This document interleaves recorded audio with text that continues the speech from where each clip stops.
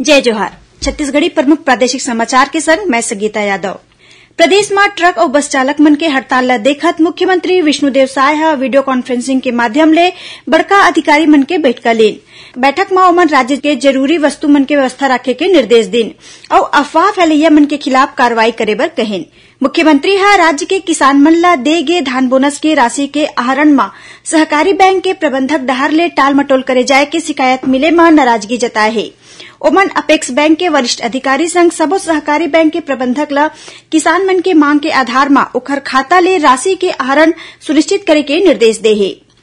खेल मंत्री टंकराम वर्मा हा प्रदेश के खेल अकादमी ला साधन संपन्न और खेल प्रशिक्षण ढांचा ला मज़बूत बनाए के निर्देश दे हे। बस्तर इलाका में पांचू महीना आईईडी विस्फोट में घायल जवान मन ले मिले बर उप मुख्यमंत्री विजय शर्मा आज रायपुर के एक ठी निजी अस्पताल पहुंचिन और उखर हालचाल जानिन। राष्ट्रीय सांख्यिकी कार्यालय के क्षेत्रीय कार्यालय रायपुर डहर ले समय उपयोग सर्वेक्षण में आज ले दो दिवसीय राज्य स्तरीय आंतरिक प्रशिक्षण कार्यक्रम के आयोजन करे जाथे।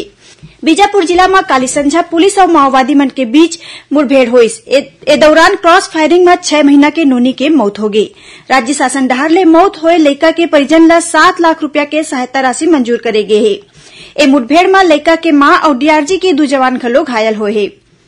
बिलासपुर जिला में मस्तूरी थाना क्षेत्र के हिर्री गाँव में बीते रथिया एक जिन मनखे ह अपन पत्नी संग तीन लड़का के गला घोट के हत्या कर दिस।